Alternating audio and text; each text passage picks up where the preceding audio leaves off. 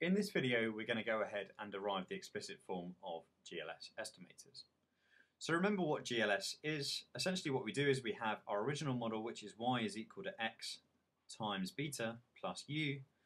And then what we do to that model is we transform it by multiplying both sides by our transformation matrix, which we know now is equal to the variance covariance matrix to the power minus a half, so that now yields our transform system, which is omega to the power minus a half, times y is equal to omega to the power minus a half, times x times beta, plus omega to the power minus a half times u.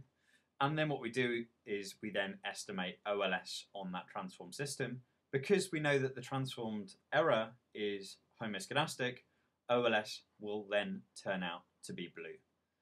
And in this video, we are going to go ahead and actually derive the explicit form of GLS, which is actually when you do all of these things in one step. That, that is what defines GLS.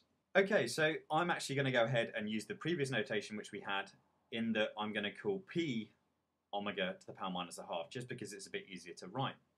So if we do that, we have that P times Y is equal to p x beta plus p u. And then what I'm going to do is I'm actually going to call some of these variables different variables just to make it a little bit simpler for us to deal with. So let's call the transformed dependent variable z equal to p times y. And let's call the transformed independent variable omega, which is equal to p times x. And actually that should be a, a tilde underneath the omega because it's a matrix rather than a vector. Finally, let's assume that our transformed error epsilon is equal to p times u. So if we assume each of these things, we can then rewrite our system using our transformed variables.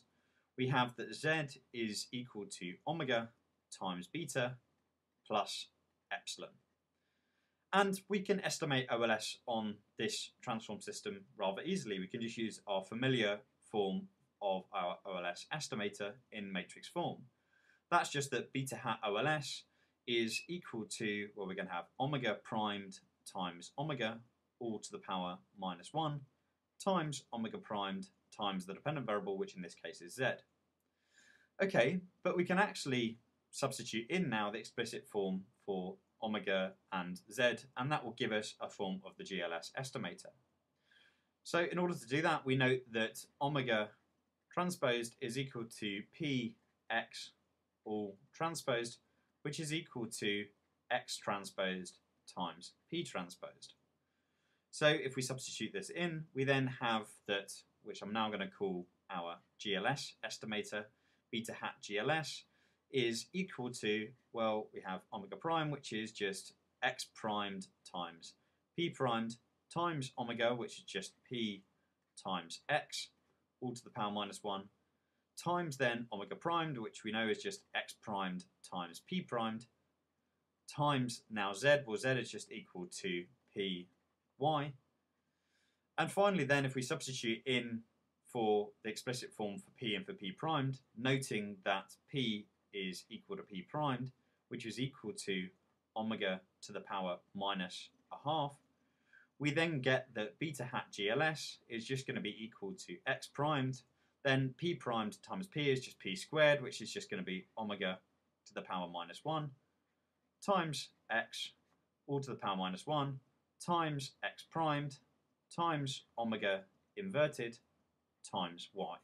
So this is the explicit form of the GLS estimator, and note that it involves the inverse of the variance covariance matrix. And using this particular estimator, we know in the presence of heteroscedasticity, it allows us to get blue estimates of the parameters.